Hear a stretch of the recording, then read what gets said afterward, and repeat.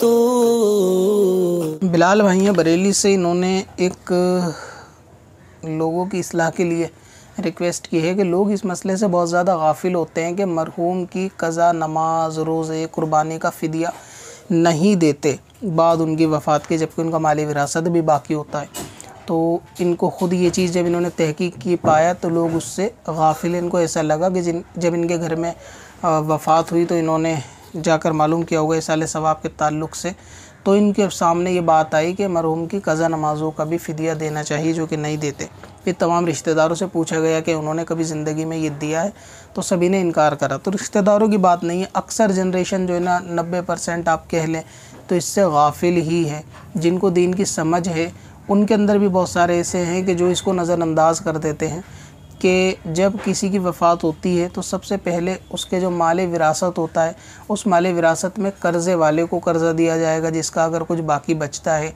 या फिर ये कि अगर उसके ऊपर कोई ऐसा देन है कि जो वाजिब है, मिसाल के तौर पर ज़क़़त वाजिब है, कुछ सालों की या नमाज़ उसने नहीं पढ़ी या रोज़े उसने नहीं रखे तो उनका जो सदका फ़ित्र एक नमाज़ के बराबर तो उनका हिसाब लगा के उस माल से पहले उनको निकाला जाएगा गरीबों को।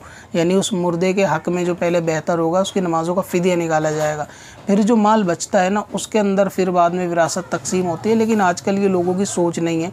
वफ़ात के बाद जब माल विरासत बटता है कि भाई बैंक में क्या उनके रखा है क्या है तो सबसे पहले वो लोग आपस में डिवाइड कर लेते हैं उसके अंदर सदका खैरात देना भी चाहते हैं तो थोड़ा सा दे देते हैं एक नाम के लिए ताकि फॉर्मेलिटी अदा की जा सके कि हमने इस माल का सदका निकाल दिया। हालाँकि वो ये हिसाब नहीं लगा रहे होते कि जो गया है बंदा, वो नमाज़ पढ़ता था या नहीं? अगर नमाजी था तो बात ही अलग है। लेकिन अगर बेनमाजी था तो सबसे पहले उसकी नमाज़ का फ़िदिया निकाला जाएगा। ये मुर्दे के हक़ में बेहतर है, लेकिन आजकल लोग पहले माल को ख़ुद जो है ना डिवाइड करते हैं आपस में कि कौन कौन उनके माल के वारिस हैं। और उसके बाद जो है ना बचे हुए को वैसे बचता ही नहीं है डिवाइड होने के बाद तो खैर आप क्या करेंगे? थोड़ा बहुत दे देते हैं। तो इसीलिए तो फरमाया ना, हज़रत अली ने और दीगर आपको इसमें अकवाल मिलते हैं कि जो तुम दुनिया में छोड़ गए हो ना, तुम्हारे लिए वो तबाही है, जो तुमने अमल किए, ये जो तुमने आगे भेजा, यानी अल्लाह ताली की राह में जो तुमने सदका खैरात किया, क़यामत के लिए वो तुम्हारा सेफ़ साइड हुआ, बाकी जो तुमने छोड़ा, चाहे वो माल हो या औलादे हों, अगर वो फ़ायदेमंद नहीं है तो फिर वो तुम्हारे लिए हलाकत का सबब बनती है कब्र के अंदर भी जाने के बाद, कि जो तुमने माल छोड़ा, यही तुम्हारा अजाब बनेगा। तो लोगों को करना ये चाहिए कि जब किसी के घर के अंदर वालिद का, वालिदा का अगर इंतकाल होता है तो जो उनकी माल विरासत बचता है, जो उनका पैसा वगैरह होता है, सबसे पहले उस रकम को जो है वो फ़िदिया उनका देना चाहिए जो उनकी नमाज़ें कज़ा थी। अभी ये कि मान लो वालिद का इंतकाल होता है तो 12 साल की उम्र जो है ना से लेकर अगर नमाज़ नहीं पढ़ते थे तो 12 साल की उम्र से लेकर जितनी उम्र में इंतकाल हुआ, उन सब का हिसाब लगा के कितने साल बनते हैं और एक साल में कितनी नमाज़ें होती हैं तो कितने साल की नमाज़ें होती हैं, इसका हिसाब लगाने के बाद उस रकम को पहले दिया जाएगा।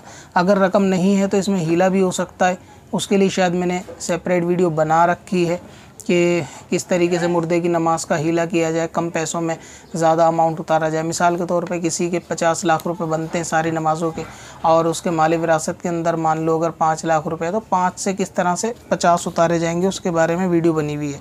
तो इस चीज़ का ख्याल रखना चाहिए वफ़ात के बाद कि जिन लोगों की वफ़ात हुई है, उनको, उनके औलादों को चाहिए कि उनके साथ अब सिला रहमी का मामला यही बचता है मुर्दे के साथ कि वो उनको जो नमाज़ कज़ा हैं, जो उनकी रोज़े कज़ा हैं, या ज़क़़त उन्होंने किसी साल की नहीं दी, या कुर्बानियाँ उन पर वाजिब थी और नहीं की तो उन सब का माल से फ़िदिया निकालें, पहले उनकी नमाज़, रोज़ा, ज़क़़त का। और देखने में ये भी आता है कि लोग तीजे चालीस में के ऊपर इन्होंने बताया कि ज़्यादा ख़र्च करते हैं, लेकिन इस तरफ़ तवज्जो नहीं जाती। तो इसमें एक चीज़ है कि तीज चालीसवां जो होता है, वो माले विरासत से तो गालिबा नहीं होता तो वो तो कोई दूसरे लोग इसाले सवाब के लिए घर वाले फैमिली वाले करते हैं तो उनका कोई फिर माल विरासत से लेना देना भी नहीं है। अगर अपनी मर्ज़ी से सवाब के लिए पूरे गाँव को खिलाना चाहें तो वो एक अलग चीज़ है। तो तीजे चालीस में पे अगर माली विरासत से ख़र्च होता है तो पहले नमाज़ का निकाला जाए, बाद में ये चीज़ें की जाएँ। और अगर फैमिली या परिवार वाले तीजे चालीस में अपने पास से करते हैं तो उसमें कोई दिक्कत नहीं है। तो माल विरासत में इस चीज़ का ख्याल रखना चाहिए कि सबसे पहले मरहूम की नमाज़ों का फ़िदिया अदा करें। इसकी ज़्यादा तफसील के लिए आप मस्जिद में इमाम साहब से जाके भी पूछ सकते हैं। कि भाई मरहूम की नमाज़ों का फ़िदिया जो निकलता है, उनका जो नमाज़ों का फ़ारा दिया जाएगा, वो किस तरह दिया जाएगा ताकि मुर्दे को राहत हो? जब तक नमाज़ का मामला हल नहीं होगा, तब तक उनके लिए राहत नहीं होगी और नमाज़ का फ़िदिया अदा कर देना उनके लिए बहुत बड़ी राहत का सबब बनेगा। तो इस चीज़ का ख्याल करना चाहिए। तो मर्द की नमाज़ों का अंदाज़ा वही इसी हिसाब से कि ना जब से बालिग हुए हैं बारह साल से मरने तक की तारीख को काउंट करेंगे। और अगर लगता है आपको कि नमाज़ें इन्होंने पढ़ी हैं, मिसाल के तौर पे चालीस साल से नमाज़ पढ़ना शुरू कर दी थी और आखिरी टाइम तक नमाज़ें पढ़ी हैं तो चालीस से पहले तक बारह साल से लड़के के लिए काउंट होगा।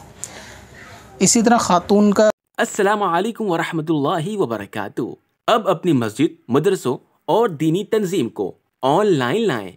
डोमेन नेम और वेब होस्टिंग खरीदें। कादरी होस्टिंग डॉट कॉम से। और पाएँ खास ऑफ़र के साथ सबसे सस्ती एसएसडी वेब होस्टिंग अपनी वेबसाइट और डोमेन को भी ट्रांसफ़र करें कादरी होस्टिंग पर। कब से अपनी खताओं का शुमारा जाएगा?